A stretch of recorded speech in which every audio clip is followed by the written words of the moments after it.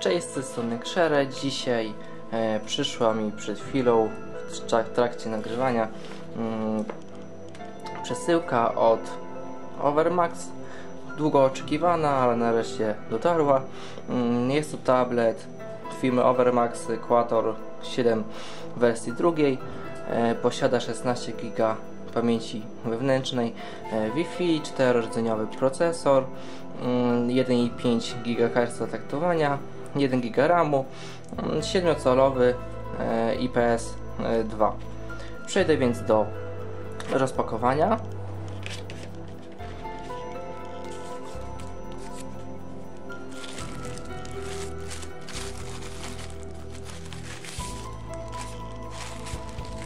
Tablet wygląda jak taki duży e, smartfon. E, folię zdejmę później. Jak już mówiłem, niektóre parametry wymieniłem. Mm, Jest tu też e, Bluetooth w wersji 4.0, e, Android 4.2. Z tyłu kamerka, logo producenta oraz informacje, certyfikaty i informacja, że produkt został wyprodukowany w Chinach. U dołu mamy mikrofon, z tyłu z prawej strony głośnik, mm, czytnik kart mm, pamięci z prawej strony, e, patrząc od tyłu, z lewej, e, z przodu tabletu, mm, z prawej strony przycisk do włączania oraz regulacji e, głośności. Z góry znajdziemy e, wyjście słuchawkowe, przycisk do resetowania. e, urządzenia, mm, wyjście do telewizora HDMI mini czy mikro, e, o tym przekonam się później, e, oraz e, USB e, mini. Ok, zdejmę folię.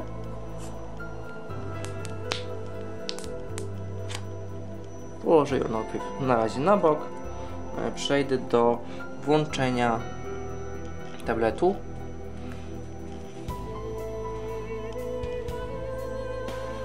Na pierwszy rzut oka e, biel nie wygląda na idealną, em, chyba że logo producenta zostało tak e, przedstawione. O tym przekonamy się później. Standardowe logo Androida. Tablet został uruchomiony. Tablet nie wydaje się taki zbyt ciężki. E, Waga jego wynosi o tym później. Mm, Na razie nie dotarłem jeszcze do tej informacji. Zanim tablet się nam zestartuje, e, w pudełku oczywiście znajdziemy jeszcze e, ładowarkę mm, do ładowania tabletu. Jest to tablet z funkcją hosta e, USB, czyli OTG, e, więc też znajdziemy mm, w akcesoriach e, kabel, taki adapter, e, dalej kabel USB, mini USB, e, karta gwarancyjna oraz taka dosyć gruba instrukcja obsługi w językach polskim, angielskim, czeskim e, oraz innych.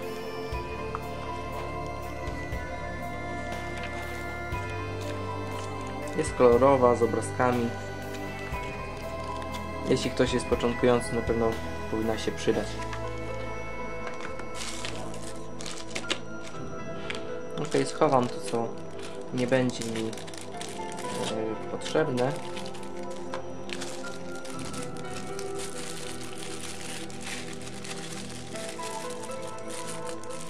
Tablet się już uruchamia. W międzyczasie powiem, że jest to e, ładowarka, e, wyjście to 5V oraz maksymalnie e, 2 A. Ok, odłożę na razie na bok.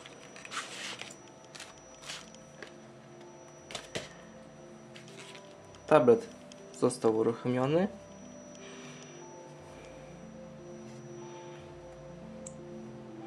Szkoda, że nie ma tu takiego mm, jakby kreatora konfiguracji. E, W takim razie mm, po prostu konfigurować trzeba ręcznie. Zmieniam język na język polski. Ok, zmieniłem na język polski. Mm, Resztę konfiguracji e, przeprowadzę później oraz e, informacje mm, o tym tablecie zaprezentuję, e, omówię i zrecenzuję w następnym mm, odcinku. Dziękuję za obejrzenie. Cześć.